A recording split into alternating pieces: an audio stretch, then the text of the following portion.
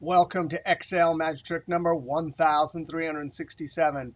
Hey, if you want to download this Excel workbook, Excel magic trick 1367, or you want to download the Power BI desktop start file, Power BI Excel magic trick 1367 DAX calendar table, so you can follow along, click on the link below the video. Hey, we have another Power BI desktop video here. We're going to see how to use the DAX calendar function to create a calendar table. Now, actually, this is 1367. In our last video, 1366, we manually created a calendar table in Excel. But we want to see how to create a dynamic calendar table using DAX that will automatically adjust. Here's our fact table, our sales table, and we have a range of dates. But we want our calendar table to totally update. If we add new dates to the bottom from the year 2017, we want our calendar table to update. Now, this trick is going to come from a comment below 1366. Brian XYZ at YouTube posted a comment about the amazing calendar function. It is awesome to hang out on our online Excel team. Now, we're going to get to see these DAX functions over in Power BI Desktop. Calendar, end of the month, date, year. We'll even see this new field name dot convention where we'll be able to say table name, field name in square brackets, dot, and we could say month to get the month name, year to get the year, and a bunch of other options. And we'll also see the min and max function. All right, let's go over to Power BI Desktop.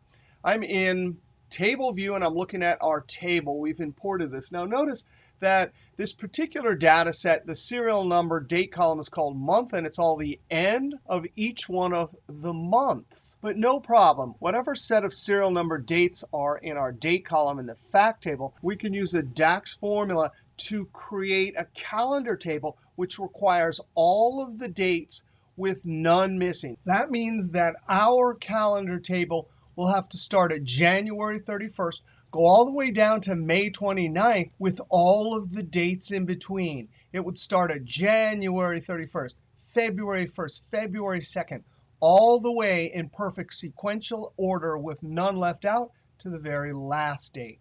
Now, we could go over look relationship view. There's our table. We definitely need our date table and then build the relationship. Let's come back over to table view. Let's go look at the modeling tab here. And guess what? The last few videos we've been creating DAX calculated columns and DAX measures. But look at that button.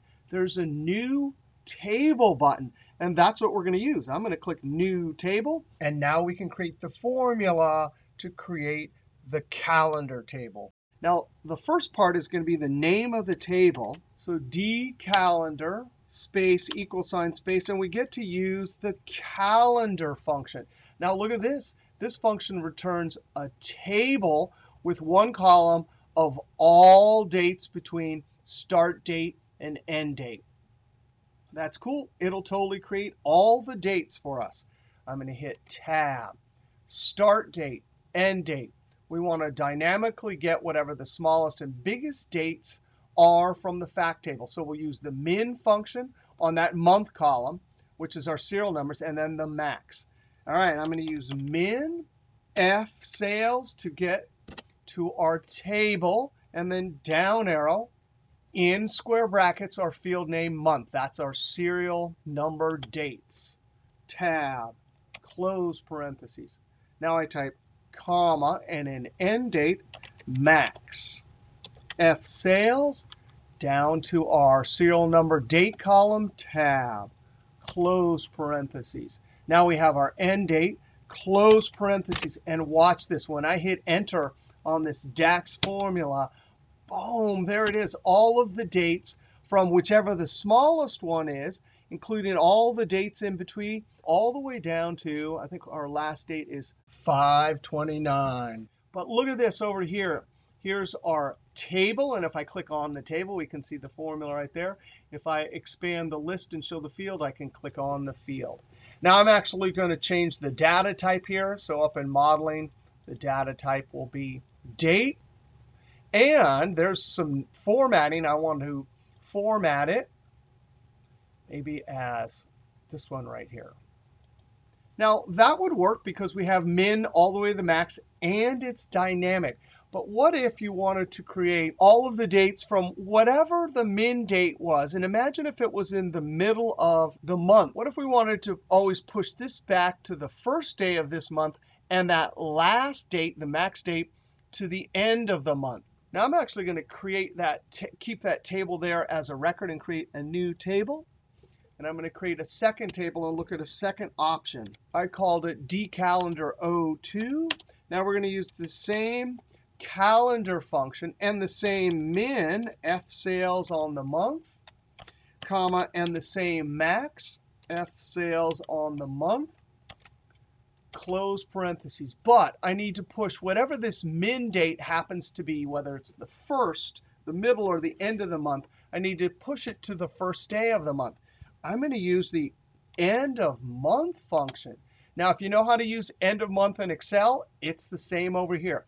We have some start date and then comma. Months tells us how many months to jump forward and give us the end of the month or backwards. Or if we put a zero, it would give us the end of this particular month. For the first month, I need to jump back one month. So I'm going to put minus 1 that would jump back to December 31st in our case. Any date in, in January would give us December 31st. So close parentheses. Then I simply add 1. Now, interestingly enough, Excel and DAX can take a date and add a 1. Now, think about that. Over in Power Query or most databases, date would be data type date and a number would be some sort of number data type. Maybe in our case, it would be integer. So Power Query, we'd have to convert both of them to dates. But over here in DAX, it works just like it does in Excel. All right, now for the max, we still are going to use the end of the month. Just in case the max date is anywhere from the first to the end, comma, our number of months to jump is always going to be 0. Close parentheses, and then enter. And look at that. Now we get 1, 1 all the way to 131. And then same with the last date. I'm going to select that column, date type, date, and then format, something like that. Now, there's one other possibility, too. What if our first date in the data set was in February and our last date was in September, but we wanted our date table to span the entire year? Let's do yet another table. I'll call it dcalendar 03 equal sign. And we'll use the same basic construction we had before. All right, so I have the calendar and the min and max. But that min, if it was in February, I really need 1, 1, whatever the year is. So I'm going to use the date function. Now, the date function is the same as in over in Excel also. So the important part for us will be getting the year from the min. So I'll use the year. And the year function works the same as it does in Excel also. Close parentheses on year. So if we're trying to get the beginning of the year, comma, then the month, of course, is 1, comma, and the day is 1. So we're using the date function in our start date to always jump back to January 1st or whatever the current year is. Similarly, for the max, we say date, and then whatever the year is of the max, comma, and luckily the years always end on 1231, so the month is 12, comma, and the day is 31. Close parentheses and enter. So now click data type, date, format, something like that one. And there it is, 1 1 2016 and we go all the way to 1231. We can see that created a calendar table for the entire year. Now, we have three tables over here, right? But for any of those tables you choose, we now need to create some helper columns for month name, month number, year, and so on. Now, actually, we could have, if we came over to our calendar 3 table, so you actually can use the add columns and actually build your formulas and data types right into the formula. But I'm not going to do that. I'm going to use my user interface. New column. Now, the first one I'm going to do is year. And I'm going to do it the not dot convention. The dot convention is a new feature here. I'm going to do it the way we've always done it for decades back in Excel. I'm going to use the year function. The date, that's from the D calendar table, and I'm in calendar 3. Down arrow to get the date. Close parentheses and enter. And sure enough, it will give us the year all the way down. New column, and let's look at the new convention. I'll call this year 2 equal sign. And watch this. We actually type the table name and the field name for our date column. That's the column in the calendar table with our sequential dates. And look at that. Once I put table name and in square brackets date, it gives me these options. I'm going to down arrow to dot year. So the dot convention, we're going to get year from within the date. When I hit enter, same thing. Now, if I look at year, that's the old way we did it. And then the dot convention, you know, in this case, either one would be fine. I'd almost tend to think that's faster and easier. But let's look at two more examples. And when we get to the name of the month, then maybe the dot convention looks a little bit easier. Now, I do need month number, so I'm going to create a new column. Call this month. And I'm going to try the new convention, DC down arrow to date, and then look at that. Dot, and I'm going to use dot month number. Month would actually give us the full month name. Tab. And now when I hit enter, there's the month number. Now let's say that we want the full month name, January, February, March. Well, let's do it the old way. New column, we'll call this month space equal sign. And over in Excel, we would use the text function. But that doesn't exist over here. It's called format. Now, once we get to format, we finally figure out that format is the function to use. It works just like text. We give it the date, DC down arrow to date, comma, and format. You have to know custom number formatting. In double quotes, the custom number formatting for full month name is four M's. In double quote, close parentheses, and enter. Now, I look at it. I made this mistake here. I'm going to put month name here. I should have put month number there. That's what I usually do. I forgot. In fact, I'll go fix that. Month name. I'm going to come back over here, double click, call it number. Now, one thing that's interesting, we'll see just in a moment, um, the new dot convention might be a little bit easier. But I didn't see dot convention if you wanted the abbreviation. So 3Ms, if I change that up there, gives us the three-letter abbreviation. I'm going to change this to 4Ms and enter. Now let's add a new column. And we're going to call this month name 02 equal sign DC. We'll down arrow to get our date column tab. And there's our drop down. And we want dot month tab when I hit enter, that gives me the full month name. Now, if we compare and contrast, here we use the old method, and we had to know that format was the function and the custom number formatting. But certainly this one seems a bit easier. We just have date. The dot convention says, hey, we need something from that date. Here we want the month name. All right, so we created, as we see over here, one, two, three different calendar tables. This is the one we're going to use. Let's go over to relationships. Now, in order to create calculations like on revenue based on the month name, we have to have a relationship.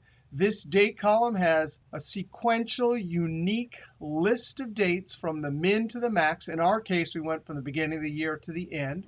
I'm going to drag this unique identifier, primary key, this is the one side, over to the many side. Month, that's the column with our sequential dates. There's the one to many relationship. Now let's go to report view, and we're going to have an error.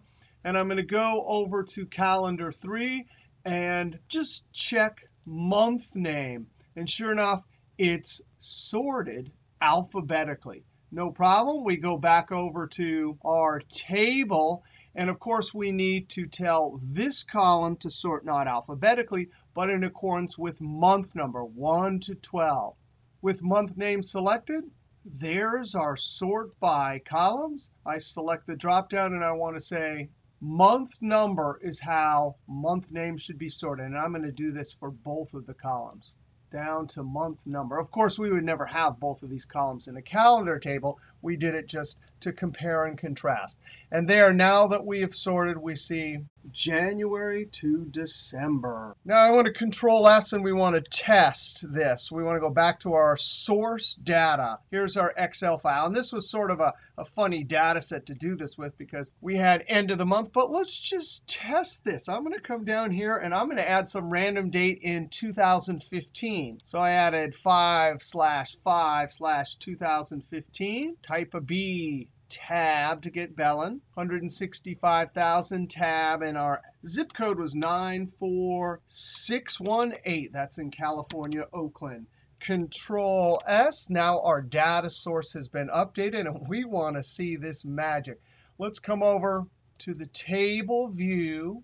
Now we can come over to home. And there's our refresh. It's refreshing. And check that out, our calendar table with one date in 2015 went from 1-1-2015 all the way down to, there it is, 12-31-2015. Each one of the other calendar tables, if we come over to our first calendar table and look at the date, it better actually have just first date and then a sequential to the end. That's correct. If we go to our D calendar 2, this one we pushed back using end of the month, pushed back to the very first of the month. And then, of course, our table here, we had a date column spanning the entire year. All right, that was a little fun with calendar tables. And notice we have calendar 3, so we can see the calendar function and the various internal function we use to create our calendar table. And then we compared and contrast year and this new dot convention, format function, and the related dot convention.